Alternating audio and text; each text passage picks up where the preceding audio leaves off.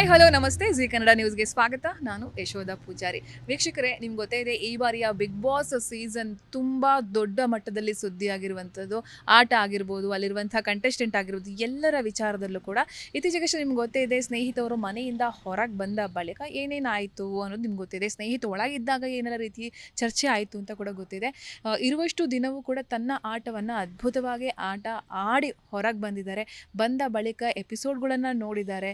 ತಾನು ಎಲ್ಲಿ ಮಿಸ್ಟೇಕ್ಗಳನ್ನು ಮಾಡಿದ್ದೀನಿ ಅಂತ ನೋಡಿಕೊಂಡು ಮಾಧ್ಯಮಗಳ ಮುಂದೆ ಇವತ್ತು ಸ್ನೇಹಿತರು ಬಂದಿದ್ದಾರೆ. ಸೊ ಈಗ ನನ್ನ ಜೊತೆ ಅವರ ತಂದೆ ಇದ್ದಾರೆ ಮಗ ಹೇಗೆ ಆಟ ಆಡಿದ್ರು ಬಿಗ್ ಬಾಸ್ ಮನೆಯಲ್ಲಿ?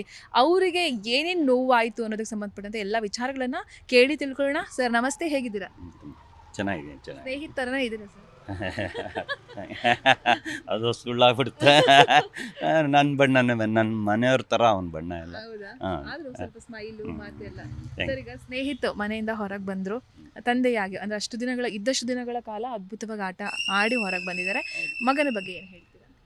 ಮಗ ಇದು ಫಸ್ಟ್ ಟೈಮ್ ಅವನು ನಮ್ಮ ಮನೆಯಿಂದ ಎರಡು ದಿವಸ ಬಿಟ್ಟು ಓದೋನಲ್ಲ ಯಾವಾಗಲೂ ಇದ್ದಿದ್ದು. ನಮ್ಮ ಒಬ್ಬನೇ ಮಗ ಇರೋದ್ರಿಂದ ನಮ್ಮ ನನ್ನ ಮನಸ್ಸು ನಮ್ಮದು ಒಂದು ಒಂದು ಸಣ್ಣ ಪ್ರಪಂಚ.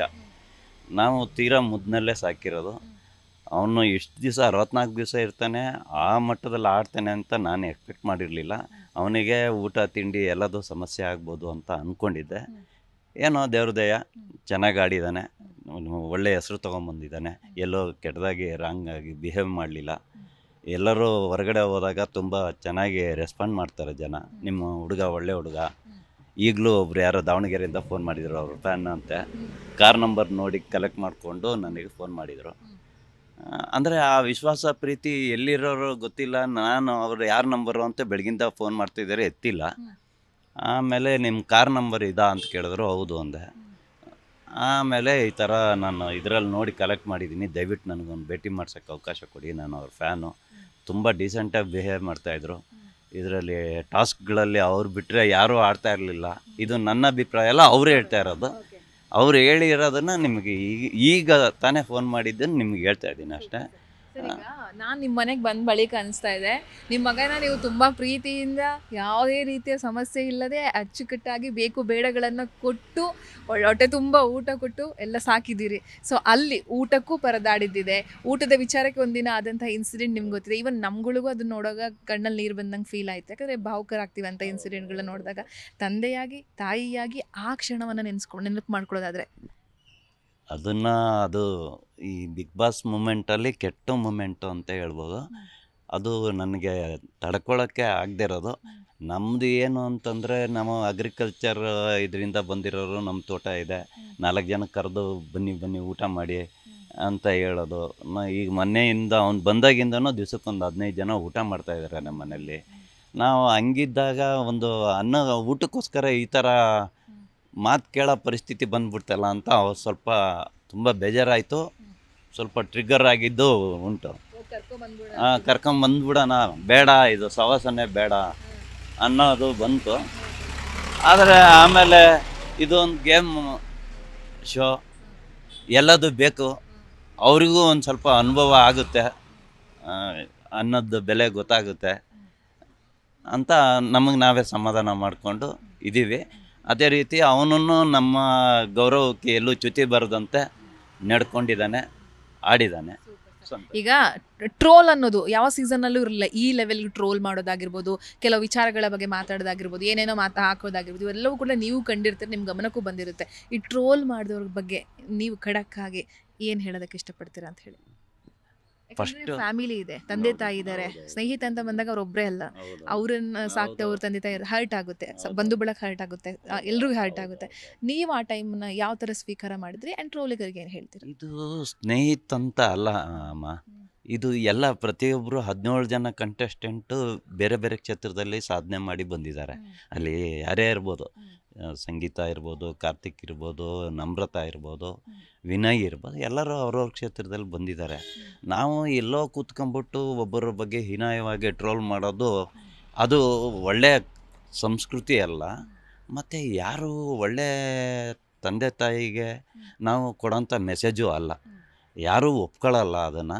ಅದು ಅವರ ಅನಿವಾರ್ಯತೆ ಏನಿರುತ್ತೋ ದುಡ್ಡಿಗೋಸ್ಕರ ಮಾಡ್ತಾಯಿದ್ದಾರೆ ಪೇಯ್ಡ್ ಟ್ರೋಲ್ಗಳು ಅಂತ ಎಲ್ಲ ಹಿಂಗೆ ನಿಮ್ಮ ಥರ ತಿಳಿದವರು ನನಗೆ ಹೇಳಿದ್ದಾರೆ, ಅವ್ರು ಸಮಾಧಾನ ಮಾಡಿದ್ದಾರೆ. ಆದರೆ ಟ್ರೋಲಿಗೂ ಮತ್ತು ಜನದ ಅಭಿಪ್ರಾಯಕ್ಕೂ ಸಂಬಂಧ ಇಲ್ಲ. ಅದು ನನಗೆ ವಾಸ್ತವವಾಗಿ ಗೊತ್ತಾಗಿರೋದು. ಟ್ರೋಲೇ ಬೇರೆ, ಜನದ ಅಭಿಪ್ರಾಯನೇ ಬೇರೆ. ಜನ ಗೌರವ ಕೊಡ್ತಾರೆ, ಈಗ ಕಾರ್ ನಂಬರ್ ನೋಡಿ ಐಡೆಂಟಿಫೈ ಮಾಡಿ ಕೊಡ್ತಾ ಇದ್ದಾರೆ ಅಂತಂದರೆ ಅದು ದೊಡ್ಡ ಮಾತಲ್ಲೇನಮ್ಮ? ಸರ್ ಈಗ ಅವರೇ ಕರ್ನಾಟಕ ಜನತೆ ಮುಂದೆ ಅವರ ಅಭಿಮಾನಿಗಳ ಮುಂದೆ ಕುಟುಂಬಸ್ಥರ ಮುಂದೆ ಎಲ್ಲ ಎಲ್ಲರೂ ಕಾಣೋ ಹಂಗೆ ನನಗೆ ನೀವು ಇಷ್ಟ ಅಮೃತ ನೀವು ಇಷ್ಟ ಅಮೃತ ಅಂತ ಹೇಳ್ಕೊಂಡೇ ಬಂದಿದ್ದಾರೆ. ಮೊನ್ನೆ ಅಷ್ಟೇ ಅವ್ರು ಕಳಿಸಿರೋ ಒಂದು ಗಿಫ್ಟ್ ಕೂಡ ಸಿಕ್ಕಿದೆ ನೀವು ಕೂಡ ಅಬ್ಸರ್ವ್ ಮಾಡಿರ್ತೀರ. ನೀವು ಇನ್ ಕೇಸ್ ಮುಂದಿನ ದಿನಗಳಲ್ಲಿ ಅವರಿಬ್ಬರು ಕೂಡ ಒಪ್ಪಿಗೆ ಆದರೆ ಅಮೃತ ಅವ್ರನ್ನ ಸೊಸೆಯಾಗಿ ಸ್ವೀಕಾರ ಮಾಡೋದಕ್ಕೆ ರೆಡಿ ಇದ್ದೀರಾ? ಅಲ್ಲ ನನ್ನಲ್ಲಿ ಇದು ಸಂಪೂರ್ಣ ಅವನ ಇದಕ್ಕೆ ಬಿಟ್ಟಿದ್ದು. ಆ ವಿಚಾರದಲ್ಲಿ ನಾನು ತಂದೆ ಆಗಿ, ಅಮ್ಮ ಆಗಿ ನಾವು ಏನು ಹೇಳಲ್ಲ. ಮುಂಚೆಯಿಂದನೂ ಅಷ್ಟೇ. ಹೇಗೆ ಮಾತಾಡಬೇಕು, ಏನು ಬಿಡಬೇಕು ಹೆಣ್ಮಗು, ಮನೆ, ಫ್ಯಾಮಿಲಿದು. ಆದರೆ ನನಗೆ ಪ್ರಾಂಪ್ಟಾಗಿ ಅನಿಸಿದ್ದವನು ಅಂದರೆ, ಆ ಹೆಣ್ಮಗು ಒಳ್ಳೆ ಹೆಣ್ಮಗು, ಒಳ್ಳೆ ಫ್ಯಾಮಿಲಿಯಿಂದ ಬಂದಿದೆ. ಆ ಗೌರವ ನನಗಿದೆ. ಆ ಹುಡುಗಿನೂ ಎಲ್ಲೂ ಯಾವತ್ತೂ ಮಿತಿ ಮೀರಲಿಲ್ಲ ಅವರ ಇಬ್ಬರು ಇಲ್ಲಿ ಏನೋ ಒಂದು ರಿಲೇಶನ್ಶಿಪ್ ಇದೆ. ಅದು ಏನಾರು ಇರ್ಬೋದು. ಫ್ರೆಂಡ್ಶಿಪ್ ಇರ್ಬೋದು ಲವ್ ಏನೋ ಸಮಥಿಂಗ್ ಆದರೆ ಅವರ ಮಿತಿನ ಯಾವತ್ತೂ ಅವರು ದಾಟಲಿಲ್ಲ. ಅನ್ನೋದು ನನಗೆ ನಮ್ಮ ಫ್ಯಾಮಿಲಿಗೆ ಮತ್ತು ಅವನ ಫ್ಯಾನ್ಸಿಗೆ ಇಡೀ ಇಲ್ಲಿರೋ ಜನಕ್ಕೆ ಎಲ್ಲರಿಗೂ ಅದನ್ನು ಮಾತಾಡತಿ ಸ್ಪಷ್ಟವಾಗಿ ಹೇಳ್ತಾ ಇದ್ದಾರೆ. ಅದೊಂದು ತುಂಬ ಸಂತೋಷ ಇದೆ ಕಣಮ್ಮ. ನಿಮ್ಮ ಪ್ರಕಾರ ಯಾರು ಈ ಸತಿಯ ಬಿಗ್ ಬಾಸ್ ಗೆಲ್ಲಬೇಕು? ನಿಮಗೆ ಯಾರು ಇಷ್ಟ? ನಿಮ್ಮ ಮಗ ಹೊರಗೆ ಬಂದಾಗಿದೆ ಬಿಡು ಅವ್ರನ್ನ ಹೇಳಂಗಿಲ್ಲ. ಯಾರು ಇಷ್ಟ ಕಂಟೆಸ್ಟೆಂಟ್ ಯಾರು ಗೆಲ್ಲಬೇಕು ಅಂತ ನನಗೆ ಫ್ರ್ಯಾಂಕಾಗಿ ಹೇಳ್ತೀನಿ. ಅದು ತಪ್ಪಿರ್ಬೋದು, ಸರಿ ಇರ್ಬೋದು. ನನಗೆ ಒಳಗಡೆ ಹೋದಾಗ ತುಕಾಲಿ, ಸಂತೋಷ ಮತ್ತು ವರ್ತೂರ್ ಸಂತೋಷ ತುಂಬ ಇಷ್ಟವಾಗಿರೋ ಕಂಟೆಸ್ಟೆಂಟ್ಗಳು ಮತ್ತು ತುಕಾಲಿ ಬಗ್ಗೆ ಅಂದರೆ ಒಬ್ಬ, ಅದು ಕಲಾವಿದನಾಗಿ. ಪ್ರತಿ ಕ್ಷಣವೂ ಹೊರಗಡೆ ಜನಕ್ಕೆ ರಂಜಿಸ್ತಾ ಇದ್ರು. ಅವರು ಸ್ವಲ್ಪ ಎರಡು ವಾರ ಸೈಲೆಂಟ್ ಆದ ತಕ್ಷಣ ಬೇಜಾರು ಮಾಡ್ಕೊಂಡಿರೋದ್ರಲ್ಲಿ ನಾನು ಒಬ್ಬ. ನಮ್ಮ ಮನೆಯವರು ಸಹ. ಅಂದರೆ ಆ ಥರ ತುಂಬ ಜನ ಇದ್ದಾರೆ ಅಂತ ಅಂದ್ಕೊಂಡಿದ್ದೀನಿ ಅದು ನನ್ನ ಇದು ತಪ್ಪು. ಆದರೆ ಅವರು ಒಬ್ಬರು ಕಲಾ ಅಪ್ರತಿಮ ಕಲಾವಿದ. ಸ್ಪಾಂಟೇನಿಯಸ್ಸೇ ಕಾಮಿಡಿ ಮಾಡ್ತಾರೆ. ತುಂಬ ಇಷ್ಟವಾದ ಮನುಷ್ಯ ನನಗೆ. ಏನೋ ನೋಡೋಣ ಅದು ಇನ್ನು ಅವ್ರು ಗೇಮ್ ಆಡ್ತಾರೆ ಯಾರು ಗೆದ್ರೂ ಖುಷಿನೇ. ಓಕೆ ಕಿಚ್ಚ ಸುದೀಪು ಸ್ವತಃ ಅವರೇ ಅಡುಗೆ ಮಾಡಿ ಈ ಈ ಸತಿ ಅವ್ರು ಊಟ ಕೊಟ್ಟಿದ್ದಾರೆ ಈ ಇವತ್ತಿನ ಎಪಿಸೋಡ್ನಲ್ಲಿ ಅದು ನಿಮ್ಗೆ ಎಷ್ಟು ಖುಷಿ ಕೊಟ್ಟು ಅಂದ್ರೆ ನಿಮ್ಮ ಮಗನು ಇದ್ದಿದ್ರೆ ಅಂತ ಅನಿಸ್ಲಿಲ್ವಾ ಅಂತ ಹೇಳಿ. ನಾನು ಅಂತ ನೋಡಲಿಲ್ಲ ನಾನು. ನನಗೆ- ಕೈಯಾರ ಅಡುಗೆ ಮಾಡಿ ಇವತ್ತು ಊಟಗಳನ್ನ ಕೊಟ್ಟಿದ್ದಾರೆ ಎಲ್ರಿಗೂ. ಹೌದಾ? Okay okay. ಅದು ಅದು ಭಾರಿ ದೊಡ್ಡ ಲಾಸ್ ಅದು. ಅವರು ನಾವೆಲ್ಲರೂ ಪಿಚ್ಚ ಸುದೀಪ್ ಅವ್ರನ್ನ ತುಂಬ ಇಷ್ಟಪಡೋದು. ಅದು ಅವನು ಅಲ್ಲಿಗೆ ಹೋಗ್ತಾ ಇದ್ದಾನೆ ಬಿಗ್ ಬಾಸಿಗೆ ಅಂದಾಗ.